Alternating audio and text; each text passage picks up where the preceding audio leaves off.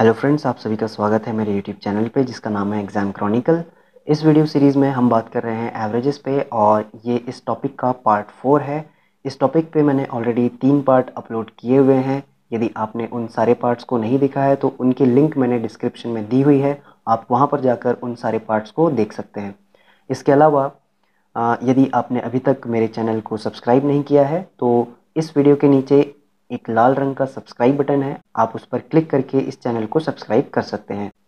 Now first problem says that the average of thirteen papers is forty marks the average of first seven papers is forty two and the last seven papers is thirty five find the marks obtained in seventh paper right thirteen papers हैं total और उनका thirteen papers का average marks हमें दिया हुआ है forty right उसमें से पहले जो सात पेपर्स हैं, उनका एवरेज मार्क्स हमें पता है दैट इज़ फोर्टी टू और लास्ट के सेवन पेपर्स का एवरेज मार्क्स हमें दिया हुआ है थर्टी फाइव हमें कैलकुलेट करना है कि सेवन्थ पेपर में कितने मार्क्स स्कोर किए गए हैं.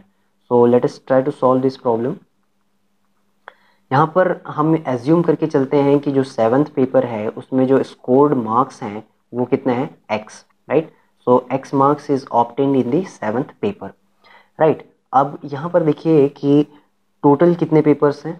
थर्टीन पेपर्स हैं और इनका एवरेज कितना दिया हुआ है हमें? That is equal to forty marks okay forty marks right इसी तरीके से first seven papers first seven papers का एवरेज हमें दिया हुआ है कितना? That is equal to forty two marks right इसी तरीके से लास्ट के जो सेवन पेपर्स हैं लास्ट सेवन पेपर्स के जो एवरेज मार्क्स हमें दिया हुआ है, वो कितना दिया हुआ है? Thirty five marks thirty five marks, okay? यहाँ पर देखिए, हमारे पास टोटल पेपर्स कितने हैं? टोटल पेपर्स कितने हैं? Total papers is equal to thirteen right और यहाँ पर यदि हम फ़र्स्ट सेवन और लास्ट सेवन दोनों को ऐड करेंगे तो टोटल पेपर्स हमें कितने मिल जाएँगे? Seven plus seven that is equal to fourteen इसका मतलब ये है कि one paper is counted twice one paper is counted twice तो यहाँ पर थर्टीन पेपर्स हैं. One two three four five six seven eight nine ten eleven twelve and thirteen right first seven papers first seven papers कहाँ से कहाँ तक होंगे? One to seven और लास्ट सेवन पेपर्स कहाँ से कहाँ तक होंगे? दैट इज़ थर्टीन से लेकर के सेवन तक। यहाँ पर एक बात ध्यान देने वाली है कि यहाँ पर दोनों फ़र्स्ट सेवन और लास्ट सेवन में एक कॉमन पेपर है दैट इज़ सेवन राइट? मतलब यहाँ पर जो सेवन्थ पेपर है, वो दो बार काउंट किया गया है, राइट? तो हमें टोटल पेपर्स में ऑप्टेन मार्क्स का सम कैलकुलेट करने के लिए क्या करना होगा कि sum of first seven plus sum of last seven minus marks obtained in seventh paper इसको हमें एक बार सब्ट्रैक्ट करना होगा। क्यों एक बार सब्ट्रैक्ट करना होगा? क्योंकि ये जो सेवन्थ पेपर है, ये फ़र्स्ट सेवन में भी काउंट किया गया है इसे और लास्ट सेवन में भी इसे काउंट किया गया है। मतलब ये टोटली दो बार काउंट किया गया है, इसीलिए हमने इसे एक बार माइनस कर दिया और ये इक्वेशन देगा total marks obtained in thirteen papers right so thirteen papers में कितने मार्क्स ऑप्टेंड किए गए हैं? Total marks obtained in thirteen papers right so first seven papers का सम कितना हो जाएगा? एवरेज हमें दिया हुआ है फोर्टी टू और टोटल है सेवन पेपर्स तो seven into forty two plus last seven papers का सम कितना हो जाएगा? Seven into thirty five minus x and this will give the total sum of all thirteen papers that is equal to thirteen into forty इस equation को solve करेंगे तो हमें x की वैल्यू मिलेगी nineteen right so marks obtained in the seventh paper seventh paper में कितने marks obtained किए गए हैं? That is equal to 19 marks. That will be the answer for this problem. Now let us try to solve this problem. If we take four numbers, the average of first three is 16 and that of last three is 15. If the last number is 18, the first number is quite similar to the previous problem. यहाँ पर देखिए कि पहले यहाँ पर चार numbers दिए हुए हैं हमें और पहले तीन नंबर्स का एवरेज कितना है 16 और और आखिरी के तीन नंबर्स का एवरेज कितना दिया हुआ है? 15 यदि आखिरी नंबर 18 हो तो पहला नंबर क्या होगा? ये हमें कैलकुलेट करना है। सपोज़ करते हैं कि चार नंबर x1, x2, x3 और x4 हैं राइट इसमें से जो पहले तीन पेपर्स पहले पहले तीन नंबर्स हैं पहले तीन नंबर्स का एवरेज कितना दिया हुआ है हमें? दैट इज़ सिक्सटीन और आखिरी के तीन नंबर्स का एवरेज हमें दिया हुआ है कितना है? दैट इज़ फिफ्टीन मतलब x one plus x two plus x three is equal to total कितना हो जाएगा? इनका एवरेज है सिक्सटीन और टोटल नंबर कितने हैं? तीन right so that will be equation number one and last three numbers that is x two plus x three plus x four इनका सम कितना हो जाएगा? 15 इनका एवरेज है टोटल नंबर से three this will be equation number two अब equation one में से इक्वेशन टू को यदि मैं सब्ट्रैक्ट कर दूँ तो मुझे क्या मिल जाएगा? X2 से x2 कैंसिल हो जाएगा x3 से x3 कैंसिल हो जाएगा, बचेगा क्या? X1 one minus x four is equal to इन दोनों नंबर्स में से थ्री कॉमन ले लीजिए, बचेगा क्या? 16 minus fifteen that is equal to three मतलब x1 one minus x four हमें कितना मिल गया है यहाँ पर? Three right right?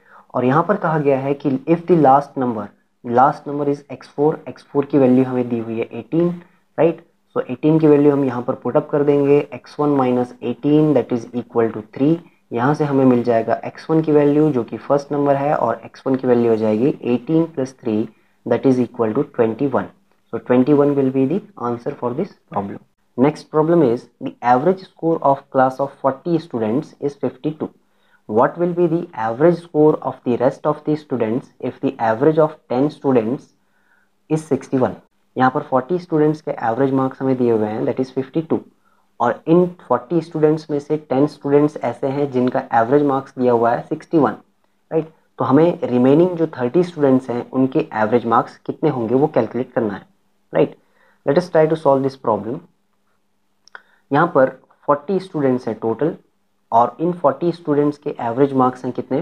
That is equal to 52 right और इनमें से 10 स्टूडेंट्स ऐसे हैं जिनका एवरेज मार्क्स है 61 लेकिन यदि हम यहाँ पर ये एज्यूम करके चलें कि इन स्टूडेंट्स इन 10 स्टूडेंट्स के एवरेज मार्क्स भी 52 ही होते तो रिमेनिंग जो स्टूडेंट्स हैं रिमेनिंग जो 30 स्टूडेंट्स हैं, उनके एवरेज मार्क्स भी कितने होते? 52 ही होते right to maintain the overall average यदि हम ये मान के चलें कि जो 10 स्टूडेंट्स हैं, उनके एवरेज मार्क्स भी 52 होते तो रिमेनिंग स्टूडेंट के एवरेज मार्क्स भी कितने होते? 52 ही होते। लेकिन प्रॉब्लम में ये कहा गया है कि इन टेन स्टूडेंट्स के एवरेज मार्क्स 61 है, जो कि 52 से ज़्यादा है। कितना ज़्यादा है? प्लस नाइन मार्क्स ज़्यादा है। राइट इन टेन स्टूडेंट्स का एवरेज 52 से ज़्यादा है, इसका मतलब ये है कि ये जो रिमेनिंग 30 स्टूडेंट्स है, इनका एवरेज 52 से कम होगा।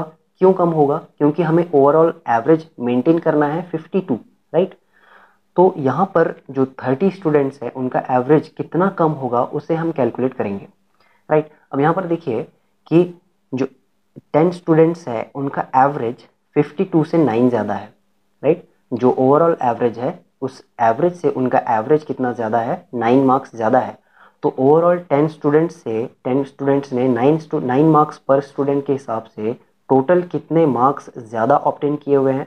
दैट इज़ नाइन्टी मार्क्स ज़्यादा ऑप्टेन किए हुए हैं as compare to this thirty students इसी नाइन्टी एक्स्ट्रा मार्क्स की वजह से इन दस स्टूडेंट्स का एवरेज फिफ्टी टू ना होकर के कितना इंक्रीज हो गया है? That is sixty one right तो यहाँ पर जो रिमेनिंग थर्टी स्टूडेंट्स होंगे, उनका एवरेज फिफ्टी टू नहीं होगा 52 से कम होगा। 52 से कितना कम होगा?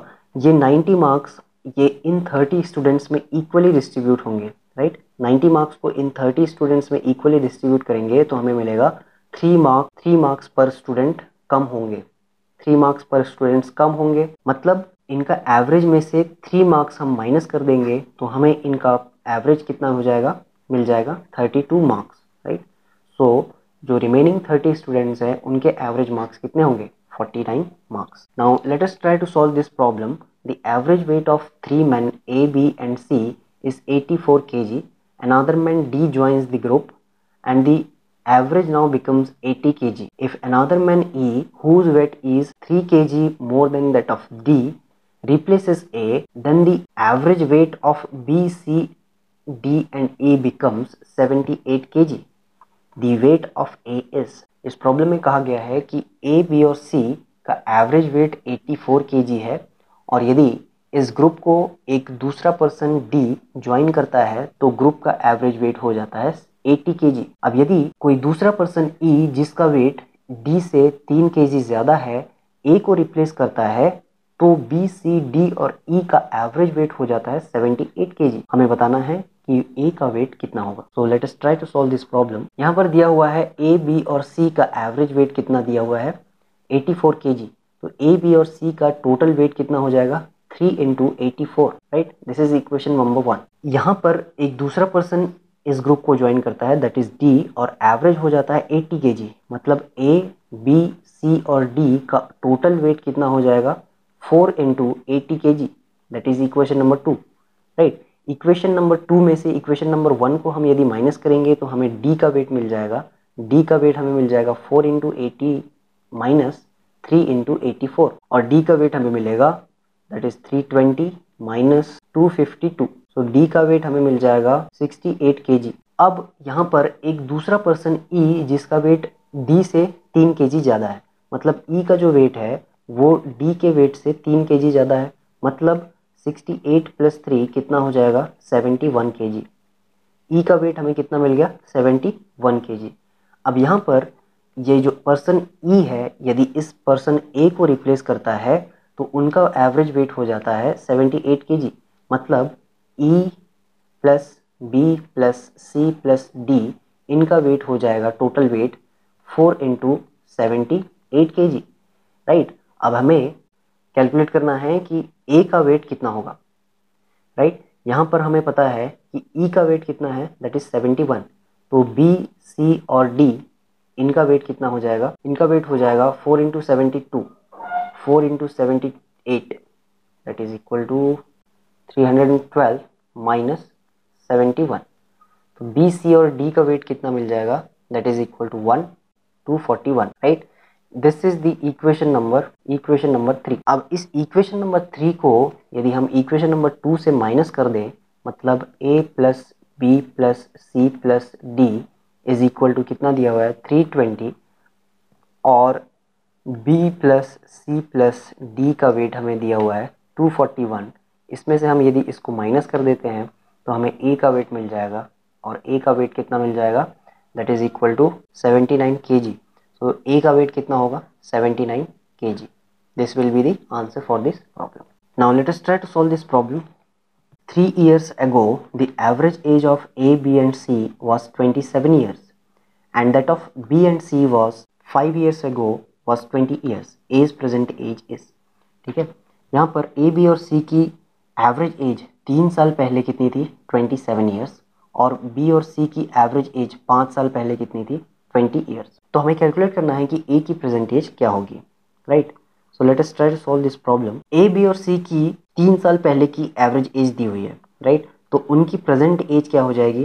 That is equal to twenty seven plus three क्योंकि हर एक एलिमेंट में, हर एक एलिमेंट की एज तीन साल से इंक्रीज होगी राइट हर एक एलिमेंट में तीन का इंक्रीमेंट है मतलब एवरेज में तीन का इंक्रीमेंट है राइट सो ए बी और सी की average age present average age कितनी हो जाएगी? थर्टी ईयर्स सो यहाँ पर हमें एक इक्वेशन मिल जाएगा A plus B plus C इन तीनों की प्रेजेंट एज का सम कितना हो जाएगा? Three into thirty that is equal to ninety years that is equation number one similarly B और सी की पाँच साल पहले की जो एवरेज एज है, वो कितनी दी हुई है? That is equal to twenty years तो उनकी प्रेजेंट एज क्या हो जाएगी? प्रेजेंट एवरेज एज हो जाएगी twenty plus five right that is equal to twenty five years right so B और सी की प्रेजेंट एज का सम कितना आ जाएगा? That is equal to twenty five into two that is equal to fifty years equation number two यदि equation one में से equation two को मैं माइनस कर दूँ that is A plus B plus C is equal to ninety minus b plus c is equal to 50 right so it will be like the a की present age कितनी हो जाएगी 90 minus 50 that is equal to 40 years right and 40 years will be the age of a present age of a that will be the answer for this problem right so i hope आपको इन सारे problems के solution समझ में आए होंगे comment करके बताइए कि आपको ये वीडियो कैसा लगा। यदि आपने इस वीडियो को पसंद किया तो प्लीज़ इसे लाइक और शेयर करना मत भूलिएगा और हमारे चैनल को सब्सक्राइब कीजिए और साथ में बेल आइकन को प्रेस कर दीजिए ताकि आप आने वाले अपकमिंग वीडियोस की नोटिफिकेशन कभी भी मिस न कर सकें। और इसके अलावा आप मेरे फेसबुक पेज एग्ज़ाम क्रॉनिकल को लाइक कर लीजिए क्योंकि आपको वहाँ पर इन वीडियोज़ के अलावा कुछ हैंड रिटन नोट्स भी मिलते हैं, जो कि आपके एग्ज़ाम पॉइंट ऑफ़ व्यू से काफ़ी इंपॉर्टेंट हैं। राइट सो इस वीडियो में फ़िलहाल इतना ही. Thanks for watching have a nice day